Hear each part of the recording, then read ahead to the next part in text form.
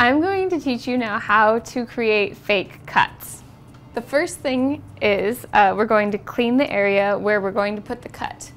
So I'm just going to take a little spritz of alcohol and clean this area here. Now that that's nice and clean, I'm going to put down some spirit gum to make the skin tacky so that the mortician's wax that we're going to use will stay. Now I just want to show you really quick, this is the wax that I'm going to use. It's mortician's wax. It looks like this. If you are at your local store, um, you can use scar wax. That's usually what they sell in things like Halloween stores.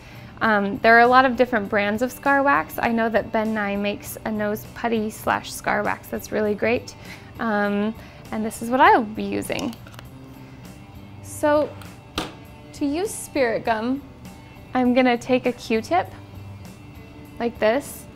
I'm gonna open the spirit gum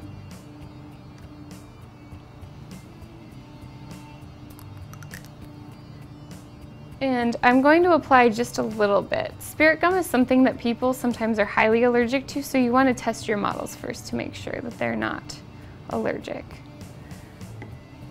I'm just going to put a little dab right here on her wrist to make sure.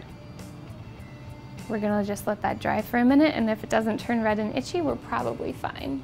Okay, now I'm going to apply a really thin layer of spirit gum where I want the wax to go in the shape of the cut. Spirit gum does not work unless it's activated. It takes a few minutes for the air to hit it and become tacky. So I'm just gonna spread that out.